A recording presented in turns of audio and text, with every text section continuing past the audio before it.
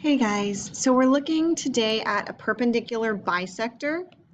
So if we remember the words perpendicular, it means that it creates a right angle when it touches one side of the triangle.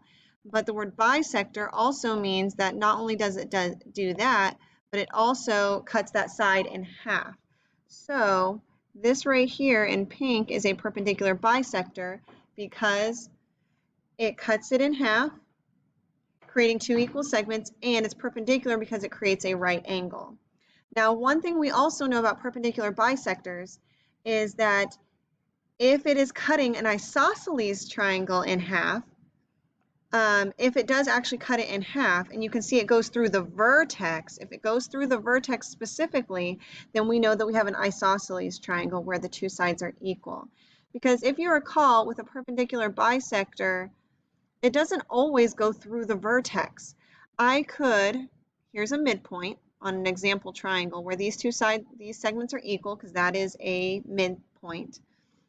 And if I draw the perpendicular bisector creating a right angle, notice it doesn't go through the vertex.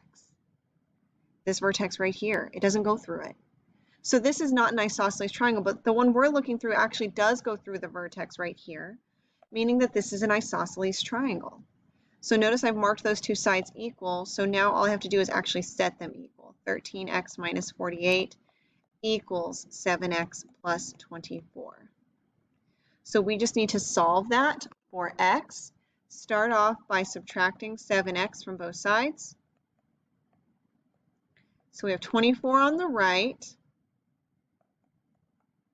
13 minus 7 is 6x. We're going to add 48 to both sides. To get rid of a minus, you add.